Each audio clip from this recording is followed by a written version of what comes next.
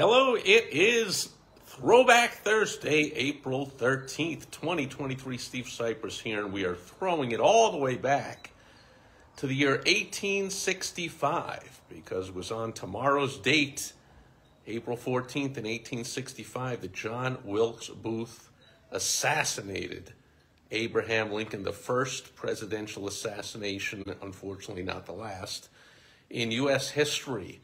And so, what does this mean for business owners? Well, two things, both around misinformation or manipulation or the use of statistics or the use of meaningless or inconsequential things drummed up to be extremely meaningful. These are important because perhaps, hopefully not, but perhaps you're called on to promote something that is subpar.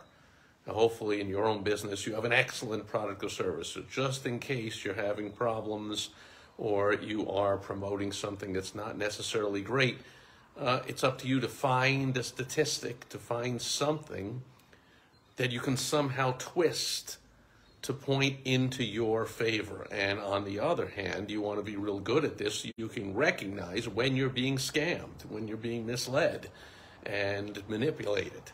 Uh, so I'll give you some examples of uh, meaningless statistics. Well, uh, back uh, a few years ago in the summer here in the U.S., uh, almost every night we had rioters in cities all over the country, burning and looting and rioting and destroying cities across America. And yet you had at least one news outlet famously calling them, well, mostly peaceful protests. Now, technically, see, that was true.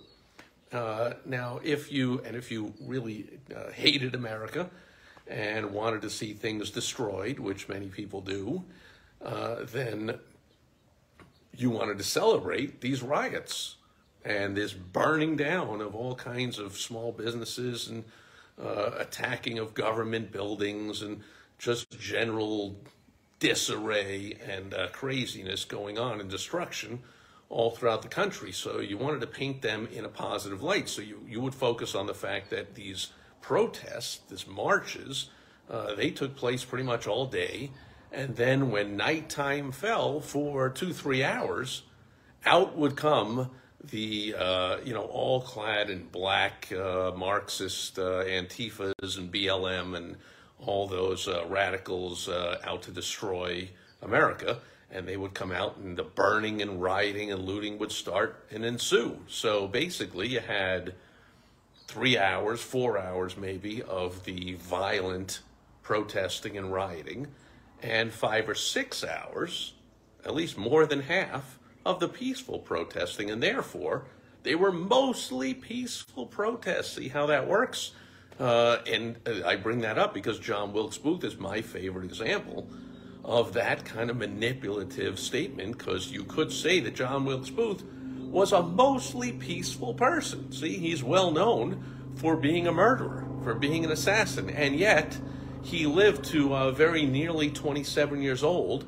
And uh, quickly, I took out my calculator before I, I came on to uh, record this, and that added up to nearly 10,000 days of life. So, in nearly 10,000 days of life, John Wilkes Booth was violent only one of those days, and only a very little part of one of those days, maybe only one minute of one of those days when he actually took aim, took the shot into the back of the head of the President of the United States, and then leapt onto the stage and yelled, uh, Sic Semper Tyrannis, and you know that was violent there for maybe a minute, and then he, he ran off and uh, and ran away. So very little violence, mostly, therefore, peaceful.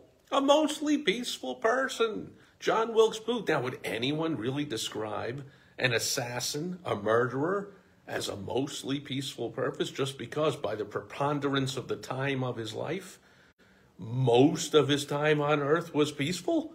I mean, and that goes for Jack the Ripper and, and Son of Sam and any serial killer, even if they murdered 50 people they still were by math uh, the amount of time that they spent not killing people way overwhelmed the small amount of time they spent killing people so mostly peaceful is that an honest way of describing them? With statistics, yes, in the same way saying a mostly peaceful protest that was burning down cities all across America was honest in one little way.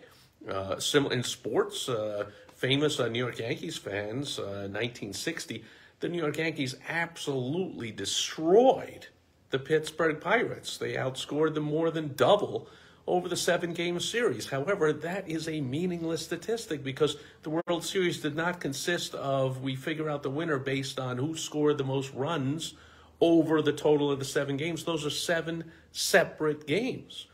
And the four really close games, the Pirates won, and three big blowouts, the Yankees won. However, the Pirates won more of the games. Pirates became the world champions, and even though the Yankees pretty much destroyed them in every statistical category over the seven days, they did not win.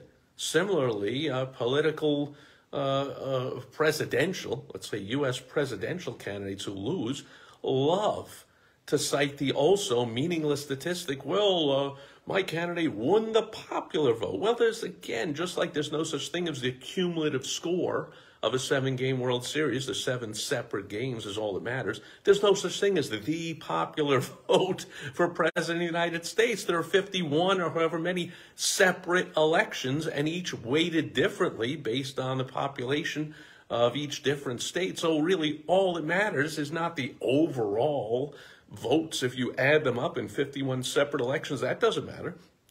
All that matters is what's called the Electoral College and how much how many of those weighted electoral votes in each one of those different states all add up to matter. So you see this manipulation going on. Well, but our candidate won the popular vote, or the New York Yankees destroyed the Pirates in 1960, or those riots were mostly peaceful, or John Wilkes Booth. Here on Throwback Thursday, we remember tomorrow the anniversary of the assassination of Abe Lincoln. That was only one minute out of his 27, nearly 27 year life. He was a mostly peaceful person. How come everybody is talking bad about John Wilkes Booth? That was a mostly peaceful purpose. So you see, this manipulation, persuasion, uh, influence, selling, whatever you want to call it, this game is one that is a high stakes game. And if you really want to play at a top level, you want to get really good at using persuasive, uh, uh, influential, language when you are advertising, marketing, and selling your product or service. And also, the second lesson is you want to get real good at recognizing it. Another one is this whole uh, climate thing like, oh, the last hundred years or the last 10 years, we've had record highs. The temperatures are rising. If this continues, oh, and yet they ignore, of course, just, uh, oh, how conveniently ignore the all time history of the Earth's temperature where we're nowhere near the hottest temperature even the last few thousand years. So, of course, and obviously, since there were hotter, hotter times thousands of years ago, I'm pretty sure that uh, that that cars and uh, and factories and airplanes and had nothing to do with it. And so, but we so therefore we don't want to quote the all-time historical temperature of the Earth and say like, hey, you know, we're in a rising period, and then of course it falls. I mean, that's the history of the earth, the rising and falling No, we don't want to do that. We want to cite a, a skewed statistic like the last 150 years or the last 20 years or something meaningless like that to make our point and try and steal people's money and uh, give it to donors who are uh, in the business of uh, destroying the uh, basically the way of life and the quality of life of people by telling them you can't drive cars, you can't fly planes, you can't eat what you want, you can't live where you want, you can't do what you want, uh, in the name of saving the earth.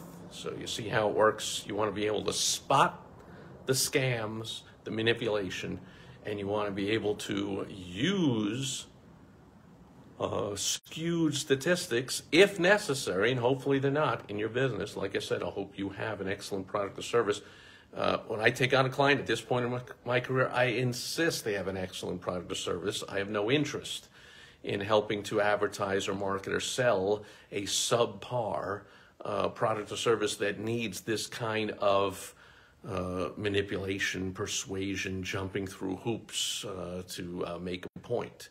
Uh, but I did back in the day. I've studied it for decades. I can do it. I can certainly spot it being done. I just choose not to do it in my business or for my clients. I choose rather to just have to state the facts. But if you do have to persuade, there's a little lesson in how it's done with some historical and current day examples. And that'll do it for Throwback Thursday, April 13th, 2023. I was thinking the 14th because that's what I was talking about here. The the anniversary of the assassination of Lincoln on the 14th in 1865. Thanks for being here today, and I'll be back again tomorrow on Foundation Friday. Until then, over and out. Bye bye.